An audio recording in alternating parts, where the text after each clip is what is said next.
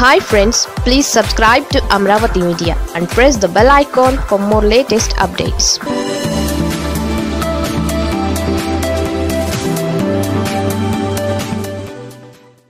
ఏడాదికి ఒకసారే దర్శనమిచ్చే గ్రామం ఎక్కడ ఉందో తెలుసా? అవును మీరు వింటున్నది నిజమే.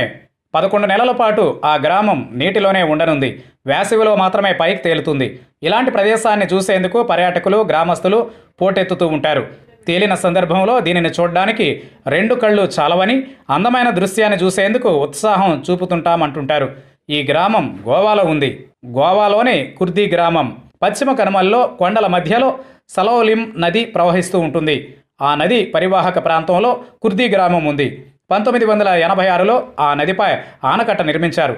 దీని మూలంగా ఆ గ్రామం మొత్తం నీట మునిగిపోయింది. కానీ పదకొండు నెలలు గ్రామం నీటిలో ఉన్నా వేసవిలో మాత్రం పైకి తేలుతుంది.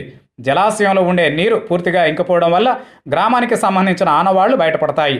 ఆనకట్ట కోసం తమ గ్రామాన్ని ఇచ్చిన ప్రజలు ఇతర ప్రాంతాల్లో నివాసం ఉండి ఇక్కడకు వస్తూ ఉంటారు. ఆ ఒక్క నెల రోజులు ఎంతో సంతోషంగా ఆనందంగా గడుపుతూ ఉంటారు.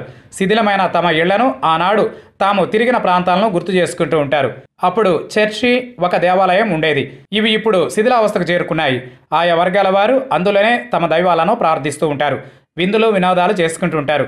వర్షాలు ప్రారంభం కాగానే జలాశయంలో నీరు నిండి ఒక దశలో ఓ దీవిలా కనిపిస్తుంది ఈ గ్రామం. అందమైన దృశ్యాన్ని చూడడం కోసం పర్యాటకులు గ్రామస్తులు అక్కడకు వెళుతూ ఉంటారు.